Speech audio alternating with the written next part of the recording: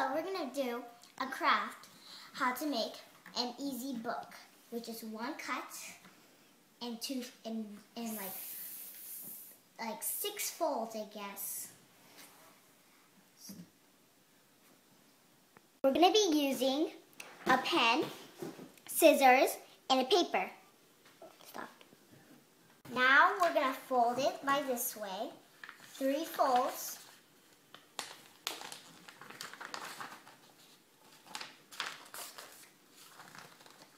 Make your fold be um, good, because you your book might turn out to guard to like like a just a piece of paper. then you're gonna fold again, and again.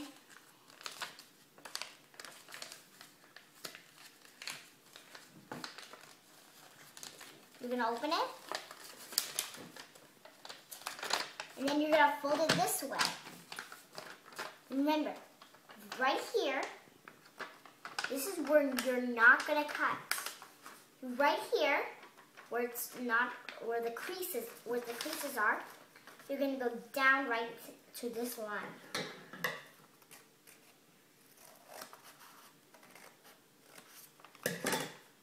Now we're going to open it.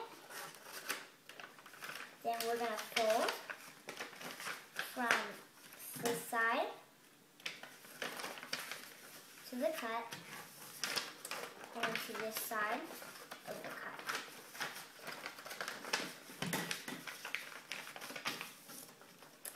I'm going to open it and watch. This is the tricky part. You're going to go like this. It's going to look like a, an X. Then you're going to fold it fast. And um, you have a little book. I have one, two, three, four, five, six. We get six pages. You can use like a, you can do a picture if you want here in the back. I have examples. I have the hare and the tortoise, and I have, the, I made up the story, The Pretty Princess. And you can put by your name and, or the real author. And I might do my own called, well, I'm not going to do my own. I'm going to make one up.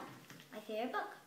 Loose E the, wait, the eagle.